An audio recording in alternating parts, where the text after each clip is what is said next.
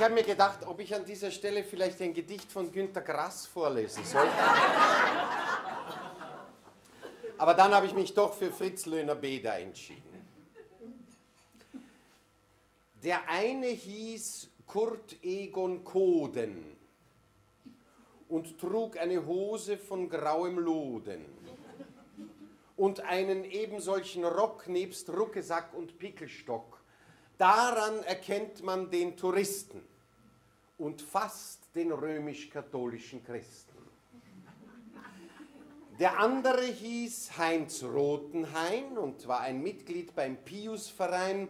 Er pflegte an Sonn- und Wochentagen einen schwarzen Salonrock zu tragen, denn erstens ist man würdiger so und zweitens verdeckt er der Füße O.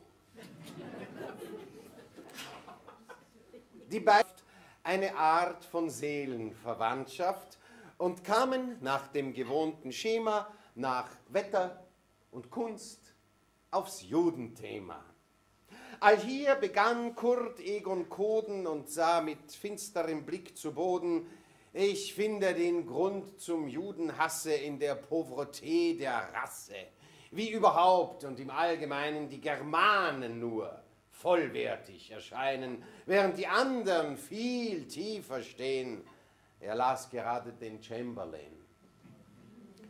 Es ist das Beste, mit Juden und Tschechen jede Beziehung abzubrechen.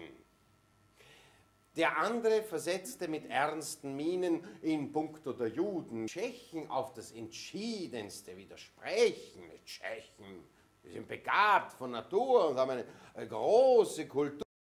So zum Beispiel, um klar zu sein, wohnt bei uns in Großwardein was? fiel da Herr Koden ein, Sie sind auch aus Großwardein? Kennen Sie in dieser Stadt vielleicht die Familie Rosenblatt? Herr Rotenhain ward wie Kalk so bleich und antwortete nicht sogleich. Dann aber frug er mit leisem Hohn, kennen Sie die Familie Kohn?